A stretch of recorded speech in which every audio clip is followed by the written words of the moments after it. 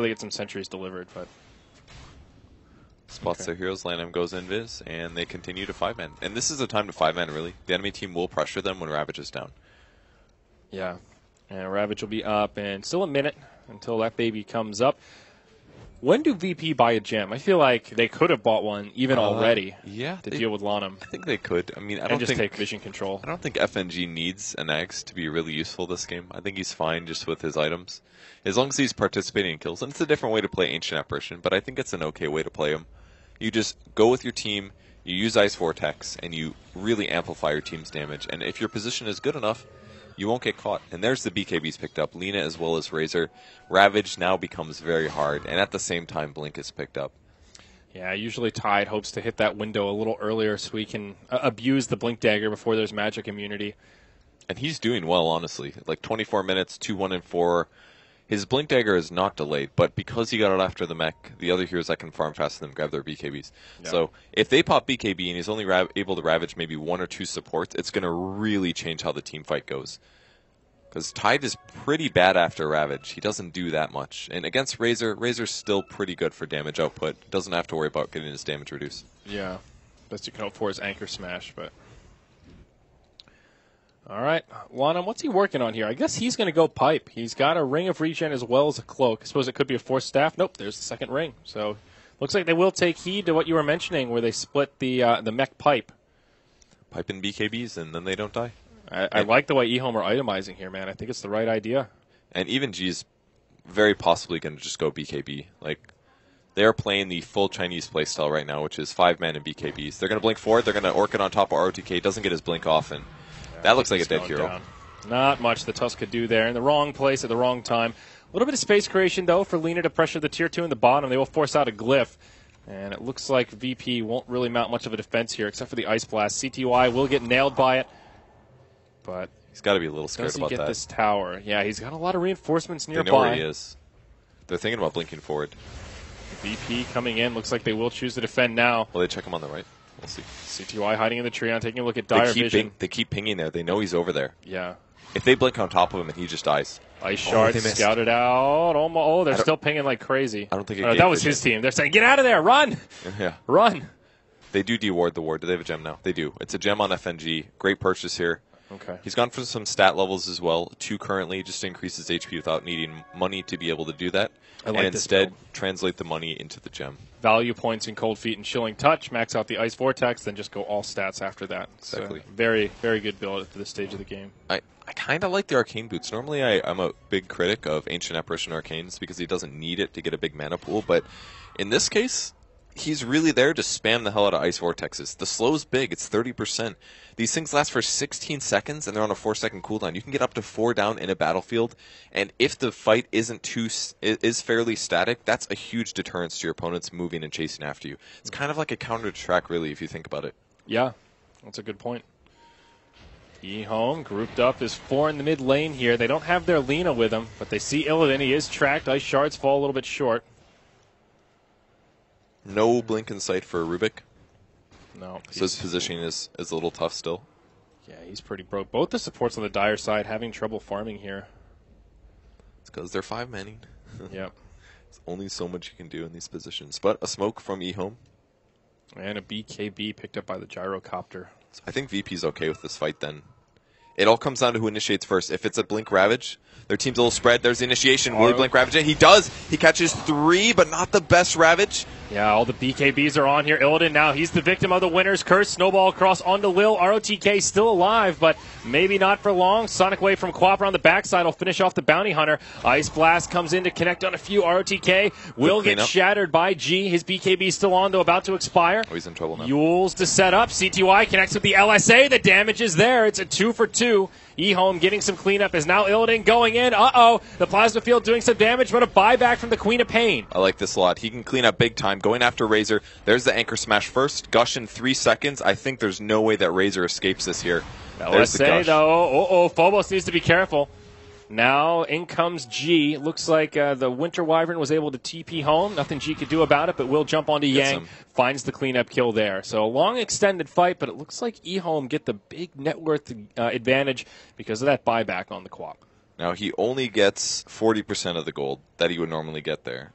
All gold earnings reduced by 60%. So despite it saying 600, he only got a little of that back, but it does still give them some space on the map. Mm-hmm. I thought he might be able to get more than just one kill there, but I, it seemed like he went south when he bought back. He did. He went he for the looked for Winter Wyvern. hero. I didn't follow my camera on that side, but he, He was didn't following get him. Winter Wyvern who TP'd out. So Yeah, so that's a pretty big mistake there. I'm guessing that he used Glimmer Cape or something like that. But he wasn't able to get the kill on that, and because of that, he lost the other two. Okay.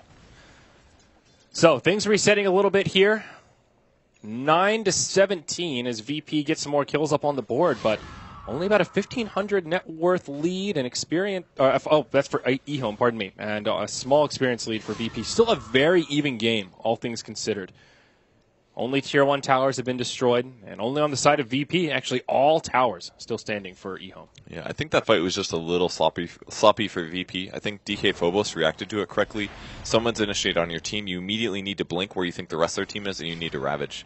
And he did do that, but the problem was his team wasn't quite close enough to follow up on it. So, from a reactionary standpoint, where they initiated on you, I think that was pretty good for VP. That didn't go bad. They kind of, I think they won that fight, um, despite the buyback, and uh, they is- just need to initiate. What is instead. Phobos buying here? He's got a point booster. Um, Is that an Octarine to lower the, the cooldown? you know, I think that's pretty cool. I, I've never seen somebody do that before on Tidehunter. Nor I. I mean, it's definitely not an Ags. I think definitely not a Bloodstone. So it must be the Octarine. It must be the Octarine. Um, Certainly not a Skadi. It's a lot of HP as well, which is kind of cool because he's got four levels in Kraken Shell, obviously. So every 450 HP, you remove a debuff. So it's a very low chance of him getting stunned. He's mm-hmm. got a bigger mana pool. He could get Refresher afterwards. I still think the Refresher build is probably better, but you can't really afford Refresher and Mech. And he's looking to initiate bot. They've got the vision. Yep. He spots DDC though. There's the Orchid blinking forward. Ravage Oh. catches four. Huge Ravage. Quap ult as well. Ice Blast comes through.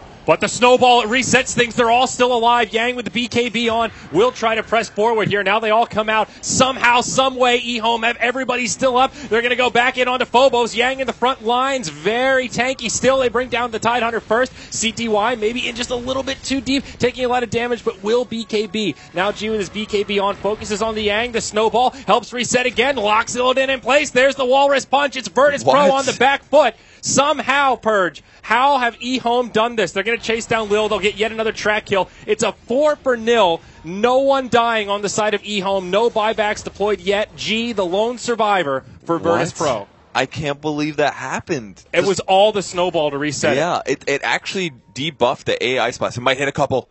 Doesn't get the razor.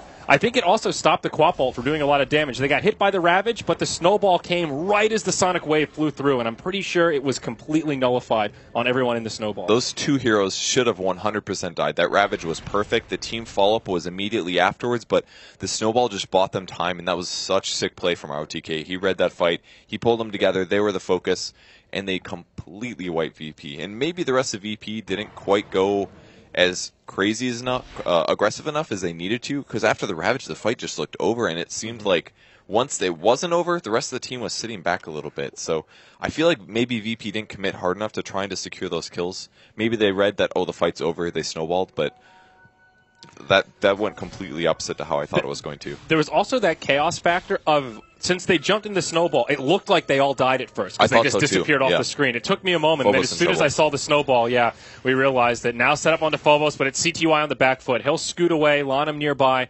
and they will be able to live. No problemo. But yeah, it's just those weird little visual things when you just go, wait, what happened? And if that happened to us, surely it happened to the players on VP as well. Tusk barely blinking back as he gets hit by the ice blast. We'll try to Doesn't TP home, and yeah, G's got no way to interrupt it.